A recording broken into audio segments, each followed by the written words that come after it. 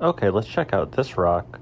So from the outside, you can see we've got some lighter colors going on, as well as some almost black material is taking up a big part of the rock.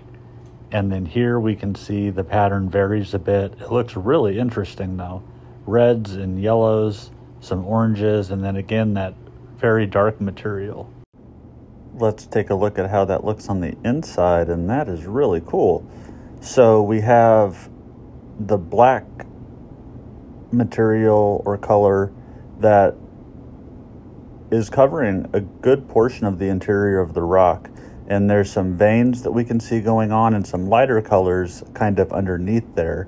And then around the perimeter, we have some yellow and gold that we saw on the outside, and then even a couple yellow veins that are running towards the interior there.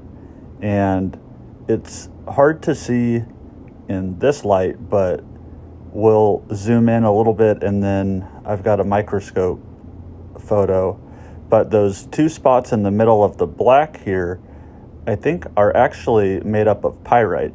So I know this is out of focus, but we're about to go to the microscope here. So that's what that looks like.